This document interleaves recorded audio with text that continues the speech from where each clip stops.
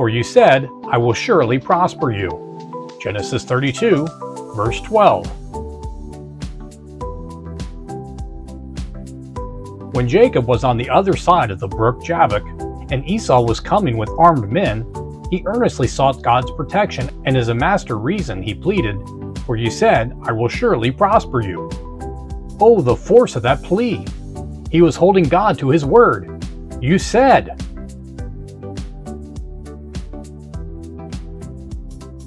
The attribute of God's faithfulness is a splendid horn of the altar to lay hold upon, but the promise, which has in it the attribute and something more, is a yet mightier holdfast.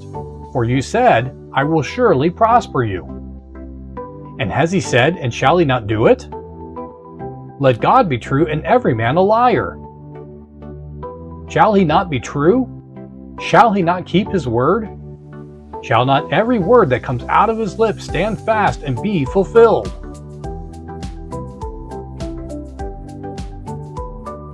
Solomon at the opening of the temple used the same mighty plea. He pleaded with God to remember the word which he had spoken to his father David and to bless that place. When a man gives a promissory note, his honor is engaged. He signs his hand and he must discharge it when the due time comes, or else he loses credit. It shall never be said that God dishonors his bills. The credit of the Most High never was impeached and never shall be. He is punctual to the moment. He never is before his time, but he never is behind it.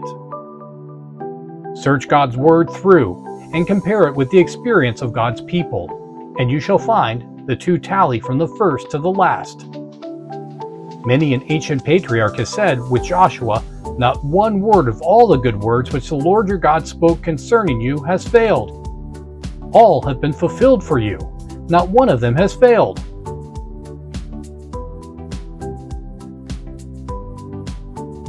If you have a divine promise, you need not plead it with an if. You may urge it with certainty. The Lord meant to fulfill the promise, or he would not have given it. God does not give his word merely to quiet us and to keep us hopeful for a while with the intention of putting us off at last, but when he speaks, it is because he means to do what he has said.